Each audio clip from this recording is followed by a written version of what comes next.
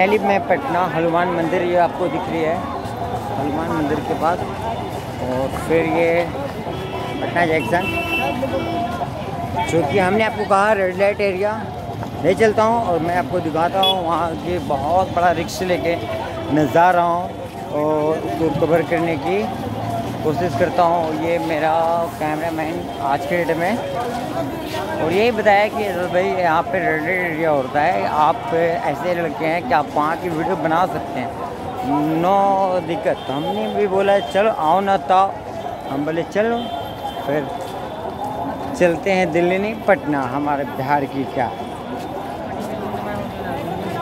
सरकार करे भी तो क्या करे, यहाँ की तेजस्वी सरकार की जितना भी अगर तेजस्वी अकेले होते, मुख्यमंत्री तो और मज़ा आता। यानी कि जितना गलत काम है, वो सारा बंद होता। और तेजस्वी जी यहाँ के लिए, बिहार के लिए हर एक युवक के दिल में बसते हैं। वो चाहे बुढ़ा हो, चाहे बुज़ुर्ग हो, चाहे किसी कास्ट का हो, वो हर लोगों के लिए हैं। वो है तेजस्वी यादव जी। मैं कवर करने की कोशिश करूँगा। अगर ज़्यादा रिक्शों का तो नहीं कवर करूँगा। ठीक है? बट आप बने रहेंगे हमारे चैनल पे। चलिए वीडियो बंद कर दीजिए अभी। अब यहाँ से क्या होगा ना कि मेरे को वीडियो बंद करना होगा। तो प्रॉब्लम हो सकता है ओके हाँ, हम नहीं चाहते कि बहुत मुश्किल से मोबाइल करते हैं। अरे बैक सपोर्ट खींच रही है। ओके बाय बाय ये है पटना जैक्सन हनुमान मंदिर की पास की मैंने आपको दिखाया। आपके लिए चले आए। चलो यहाँ पे हनुमान मंदिर है तो यहाँ पे मस्जिद भी है आगे जो आपको दिख रही है। बिहार में कोई भी गलत काम नहीं होता है, क्योंकि बिहार का सरकार बहुत अच्छे हैं। हम बिहारी हैं साहब। दिल में इंसानियत रखते हैं। नहीं तो किसी को कुछ मानते हैं, ना हिंदू, ना मुसलमान, ना सिख, ना ईसाई। सब हमारे अपने भाई भाई। सिर्फ़ और सिर्फ़ अगर, भाई के अलावा अगर कुछ है यहाँ पे तो वो है जानवर। बाकी इंसानियत हमारे में कामयाबी की सीढ़ी हासिल की है और बल्कि ये 2024 में पूरा इंसानियत बनेगी, नफ़रत की दुकानें बंद हो रही है और मोहब्बत की दुकानें चालू हो रही हैं।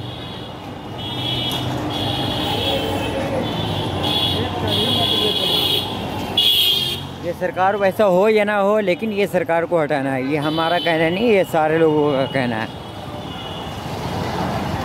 क्योंकि इसकी वजह से बहुत दुर्घटना हो रही है। लोग, कुछ लोग बहुत ज़्यादा यहाँ पे गुंडागर्दी करना चालू करते हैं, केंद्र सरकार के लेके। तो फाइनली हम पटना जंक्शन पहुँचने वाले हैं, जो आपको दिखेगी, ठीक है? उसके बाद फिर मैं आपको बताता हूँ और भी बहुत जगह पे। दिल्ली से डायरेक्ट आने का मतलब दिल्ली से आने का डायरेक्ट का मतलब यह है कि अपने गाँव का आपको दिखाते चलो। हमारे दिल्ली वाले सब्सक्राइबर जो हैं, वो इंतज़ार में थे क्योंकि बहुत सारा पर्सनली कॉल भी आया था। आप भी कर सकते हो। सबके लिए मैं पर्सनली हूँ।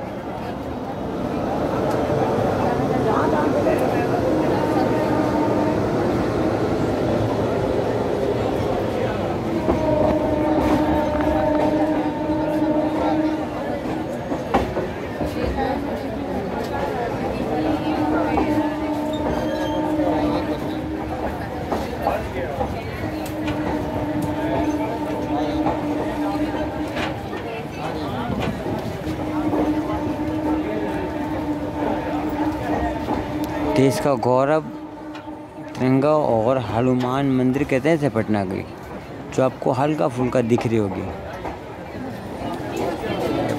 पटना जंक्शन।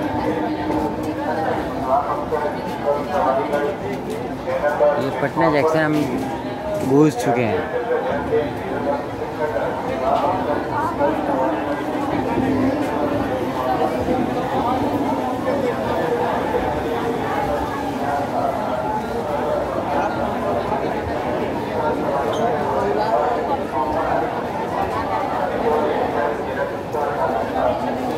पटना की पैसेंजर की भीड़ है।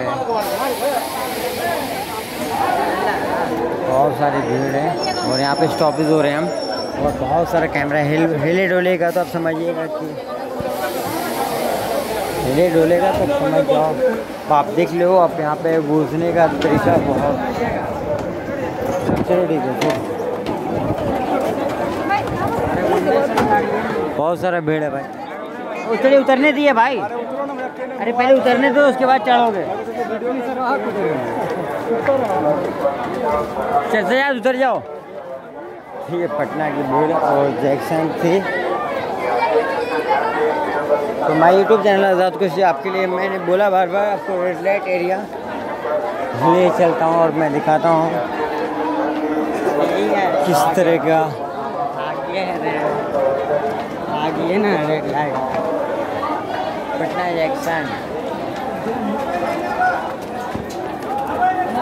करोगे फाइनली हम पहुँच चुके हैं अपने कैमरामैन के साथ।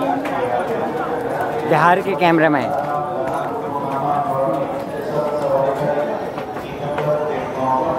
तो चलिए मैं अपोजिट साइड क्योंकि कोई साइड धरती सुनहरी अंबर नीला ऐसा देश है मेरा हिंदुस्तान। बरौनी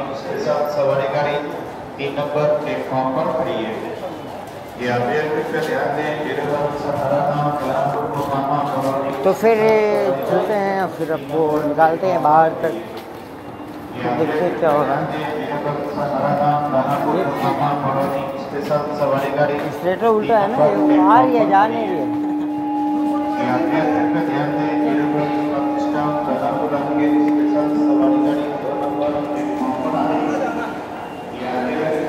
तो चलो फिर।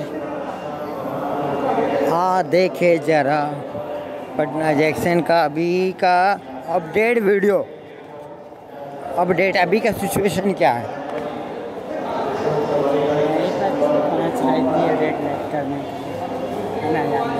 बस मैं रेड एरिया आ चुका हूँ, बस थोड़ा सा अंधेरा होने की देर है, उसके बाद शायद बहुत खूबसूरत खूबसूरत हसीना लोग भी आती है। हमें हमें नहीं पता, हमें नहीं पता था पर क्या है कि हम बता रहे हैं किसी और के जानने से।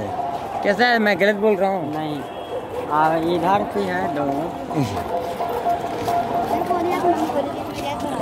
तो फिर मैं आपको बताते चलूँ। अरे इधर ना जी। इधर से। तो ये रहा पटना जंक्शन।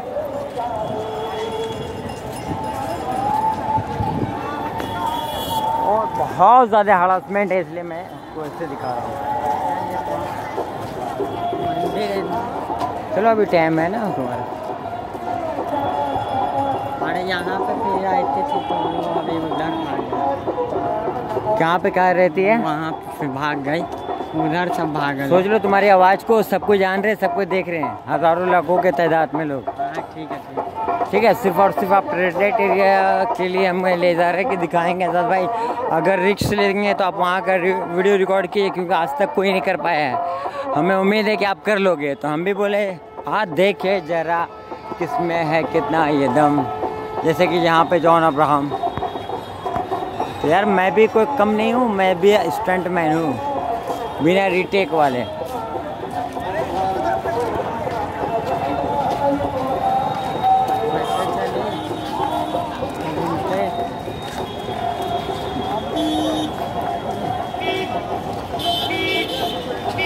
ये दानापुर का ये है प्लेटफॉर्म नंबर तीन। तीन नंबर पे। और ये बहुत ही जख्मी है और नहीं तो बोलने की हालत में नहीं कुछ। अब पता नहीं क्या हुआ मैटर ऑफ़ इंक्वायरी आप कर सकते मैं आपको दिखाते चलूँ और मैं आपको ये वीडियो सेंड कर रहा हूँ बताइए। अब उनका नाम क्या है वो सब कुछ नहीं पुलिस आएगी तो अपना तैनात करेगी उस नाम को और दिखा जाएगा बंदा का। हम लोग एक इंसानियत के नाते दिखा रहे हैं कि इसकी ब्लड गिर रही है थोड़ा सा और अब देखिए बहुत ज़्यादा से करीब से देखिए आप फटा हुआ है। तो ये गुजारिश है कि आप इस वीडियो को थोड़ा सा शेयर कर दें और दबा दें। प्लेटफॉर्म नंबर तीन पे है। दो तीन पे। दो तीन पे। दो तीन क्या नाम है चचा? नाम कुछ बोल सकते हैं? हाँ। क्या नाम है? क्या नाम है? रणबीर पासवान। हाँ सर हटाइए कहाँ घर है? पासवान। कहाँ घर है? गुड़गांव गुड़गांव हाँ? कहाँ घर है? बिहार में कहीं और? ना गुड़गांव। हाँ? तो चलिए ये इतना तक इनके क्या हुआ? यहाँ पे आप दारू वारू पिए थे क्या? ना। कोई मारा है? ना। तो फिर कैसे ये फूटा है? आप दारू पिए थे? बिहार में दारू बंद है आप दारू पिए थे क्या? ना। तो वो तो पुलिस आ रही है आपको देख लेगी और आपको ले जाएगी हॉस्पिटल अभी। तुरंत चलिए थैंक यू शुक्रिया। यहाँ की पब्लिक ने मुझे बताया कि ऐसे ऐसे बात है गिरी हुई है तो हमने इसको कैप्चर कर लिया। चलिए। सेवन ज़ीरो सेवन नाइन होगी double five double five three six three six seven zero seven nine seven zero फिर डबल फाइव फिर थ्री सिक्स है। ये गलत लिखा गया। अच्छा चलिए सेवन ज़ीरो सेवन नाइन जी। फिर सेवन ज़ीरो जी जी। डबल फाइव जी। थ्री सिक्स जी। ठीक है जी इधर है प्लेटफार्म से? पीछे।